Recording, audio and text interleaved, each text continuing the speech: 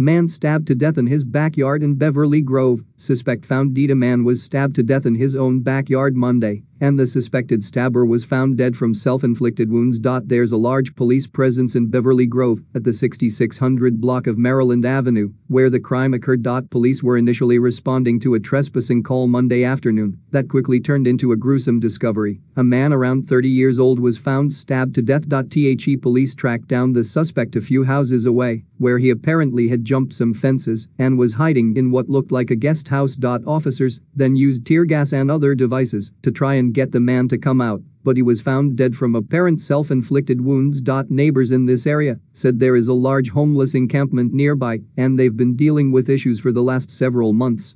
When they went into the unfortunate home of the man murdered, he said get out of here, and then he stabbed him said Diane Franco, a neighbor. They said, hearing that this happened on their street is terrifying for them it really is crazy this happened three houses down from me, and just all day I've been thinking about how three houses down that could have been me. Our city is broken. It needs to be healed. We need to focus on helping the people said Cameron Cooper, another neighbor. Police have not confirmed that the suspect is a transient, but they say they're exploring every possibility about what led up to the deadly stabbing.